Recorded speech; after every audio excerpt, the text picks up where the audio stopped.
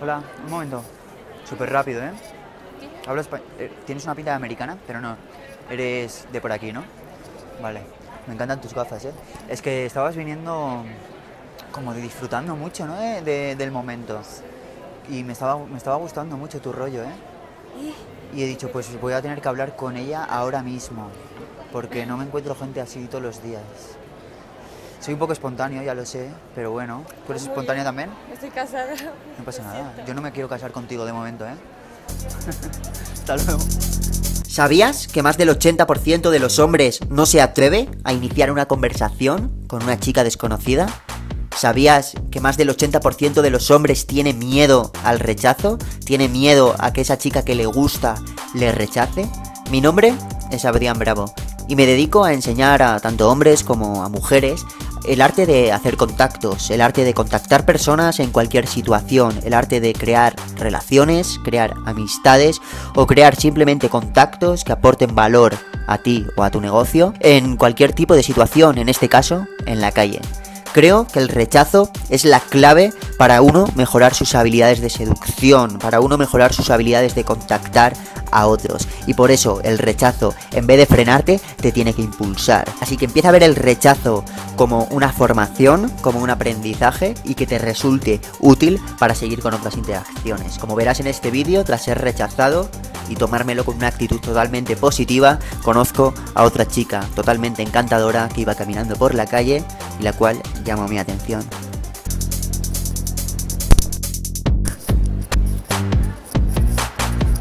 Un momento.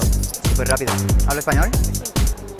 Tienes pinta de, de Rusia, de por ahí, ¿sabes? De Bulgaria, no sé. Es lo que he estado viendo. ¿Sabes qué pasa?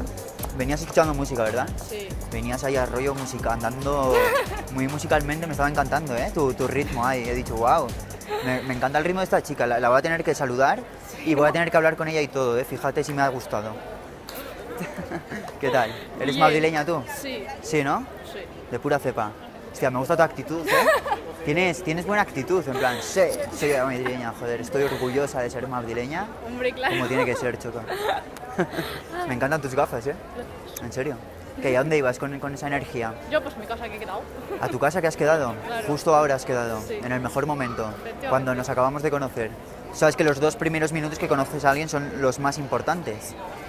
Claro. No, no lo sabía.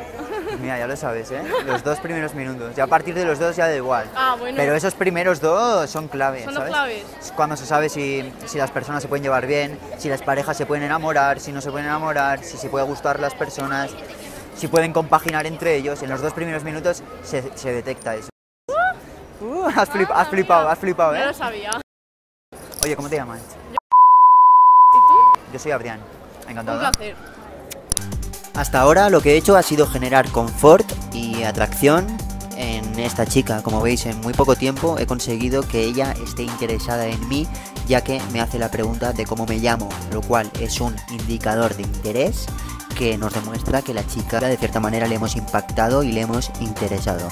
Eh, me has dejado un poco en shock. O sea, un poco, yo soy una persona muy espontánea, pero tú me has dejado como, como sin saber qué decirte. Pillado, un poco, un poco pillado.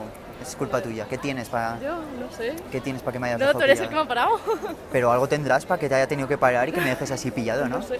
¿Qué te- ¿Tú qué crees que tienes? ¿Qué es lo mejor de ti? Pues no sé. Yo misma. Tú sé misma. mi simpatía. Tu simpatía. Eres muy alegre tú. Sí. Eres súper alegre, ¿o no? Sí. Me encanta la gente así alegre. O sea, porque eso me lo vas a transmitir a mí, ¿sabes? Yo también soy alegre, por lo tanto, si nos juntamos dos personas alegres, imagínate lo que Va, puede salir de boom ahí. de alegría. Uf, un boom de alegría, un festival ahí de alegría, ¿sabes? Increíble, tía. Ahora lo que hago es mostrar vulnerabilidad, diciéndole que me ha dejado en shock y que no sé qué decirle. Al mostrar vulnerabilidad lo que vas a hacer es crear más rapport y hacer que la chica te vea más humano y por lo tanto conecte más contigo. También lo que hago es, es hacer que ella se cualifique, que me diga qué es lo mejor de ella. Con esto consigo que ella me vea como una persona exigente. Se cualifica diciéndome que es una chica alegre. Yo le digo que me encanta la gente alegre y de esta manera la conexión que hemos creado ya es mucho más grande.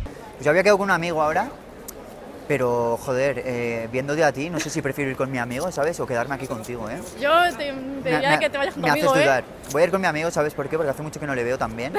Pero a ti también todavía hace más que no te veo. tanto, imagínate. Por lo tanto, nos deberíamos de ver en otro momento que no hayamos quedado con nuestros amigos. Vale. Eh, ¿Tú dónde vives? Yo O sea, ¿vives por aquí en el centro? vivo por el centro. En el centro.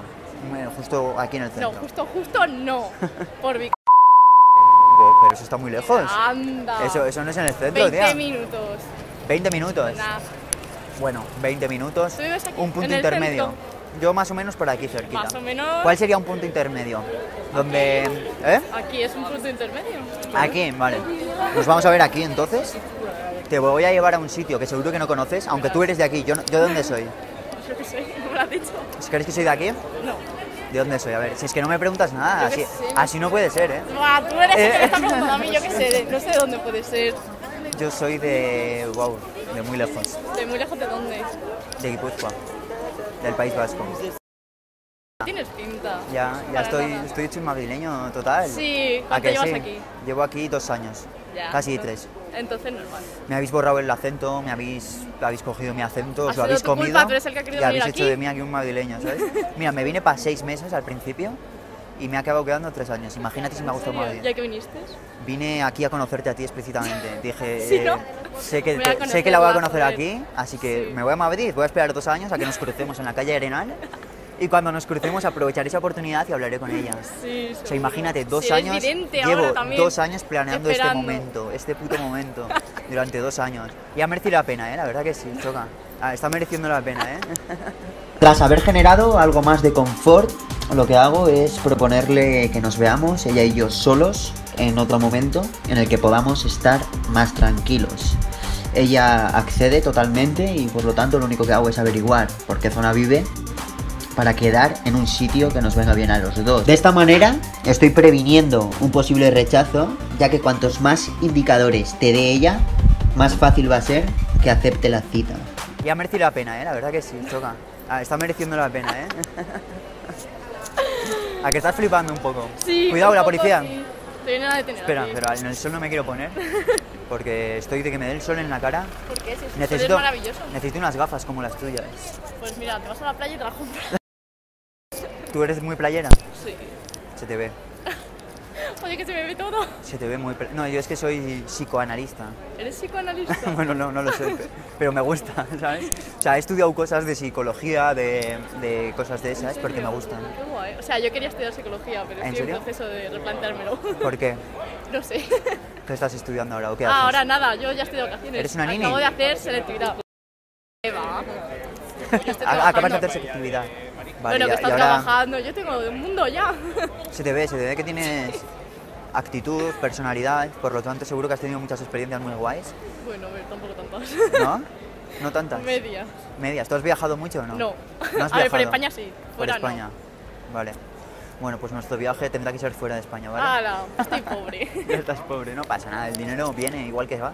Viene, igual que toda la vida. Claro, eh, cuando menos te lo esperas, igual te toca un premio de la lotería y Hola. bueno, y te haces libre financieramente y puedes hacer lo que te la gana. Sería muy guay, en verdad. ¿En ¿Qué cosas me podrías apoyar? ¿O qué podrías aportarme? A ver, ¿qué tienes tú que pueda aportar a mi vida? Yo creo que todo el mundo tiene algo para aportar a alguien, ¿no? En tu caso, ¿qué es? A ver. La alegría Dale, ¡Eh! Eso es y lo el escucharte y aconsejarte. Soy muy buena consejera con las personas. ¿Eres buena escucha? Sí. Yo soy la psicóloga de las, mis amigas, de todo el mundo en general. ¿En serio? Sí. Qué bien, pues me viene muy bien eso también, mira. Podría hacer terapia contigo, ¿sabes? Contarte mis cosas, mis penas y, mi- y- Y tus alegrías, y ¿no? mis alegrías, no. por supuesto. Y bueno, me harás terapia o algo, ¿no? Vale. Y yo te puedo hacer un psicoanálisis profesional, Profe- donde cualquier experto te cobraría 80 euros la sesión. Joder. Pero yo, por ser tú, eh, te lo dejaré gratis. Ah, bueno, la, entonces primer- vale. la primera sesión. Ah, ¿eh? pero solo la primera. Solo la primera. No Luego la segunda ya te lo tendrías que ganar. Guau. O sea, me tendrías que hacer reír mucho, no sé. Me tendrías que contar algún chiste, ¿eh? No sé. Guau, que para contar chistes yo no sirvo. ¿No sabes contar chistes? ¿En No, serio? No, te lo juro, no sé contar chistes. Bueno, yo te enseñaré, ¿vale? Vale. Lo que he hecho ha sido generar humor, no solo para ya crear más confort, sino porque el humor abre el cerebro primario. El humor conecta con el hemisferio derecho de la mente. El hemisferio derecho es el que se encarga de las emociones y de los deseos. Por lo tanto, el humor me ayuda a que esa chica se sienta más conectada emocionalmente hacia mí. También busco cualidades en ella que me puedan aportar. hago que ella se siga cualificando y yo también la cualifico detectando cuáles son esas cosas que veo en ella que pueden aportar a mi vida. ¿Qué, ¿Tú cómo lo tienes mañana? ¿Qué haces mañana? ¿Tienes algo en tu Mañana cabeza? he quedado. ¿Has quedado? Sí. Vale. Y la semana que viene me voy de vacaciones, por fin. ¿O en serio? Sí. Pues nos tenemos que ver antes de que te vayas. Antes de que me vaya. Claro, porque una semana es mucho tiempo, ¿sabes? Bueno, llevamos toda la vida sin vernos. Por Una eso, por no eso, pasa ya nada. ha surgido esta conversación y, y no la podemos dejar ahí en el aire. En plan, nos tenemos que volver a ver. Estamos hoy a jueves. Sí. Mañana viernes, sábado, el domingo, por ejemplo. ¿Qué tal te va? Vale, ¿Te va bien el domingo? el domingo me va bien. Venga, choca. Por último, lo que hago es cerrar la cita.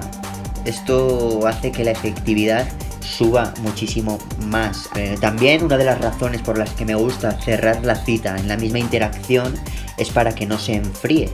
Eh, si dejaríamos pasar una semana desde que hemos hablado con ella hasta que nos volvemos a encontrar, las posibilidades de que sus emociones se enfríen son mucho más altas. Cuanto antes puedas volver a verla después de la primera interacción, mucho mejor. El domingo. ¿Qué eres más, de café o de cerveza? De cerveza. Perfecto. Porque si era de café ya te iba a decir que no, ¿eh? Dime tu WhatsApp. 681, 681. que es 8. Sí. Te guardo como. Y yo soy.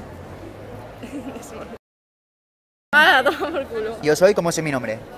No sé, se me ha olvidado. ¿Cómo es tu nombre? Se te ha olvidado, o sea, Sí. tienes mala memoria. Tengo muy mala memoria. Lo que tienes de alegría te falta de memoria. Sí, mazo, pero yo... No pasa nada, no pasa nada. Yo también, los nombres se me olvidan enseguida. Cuando me hables por WhatsApp ya te agrego y ya me acordaré de ti, de tu Claro. nombre.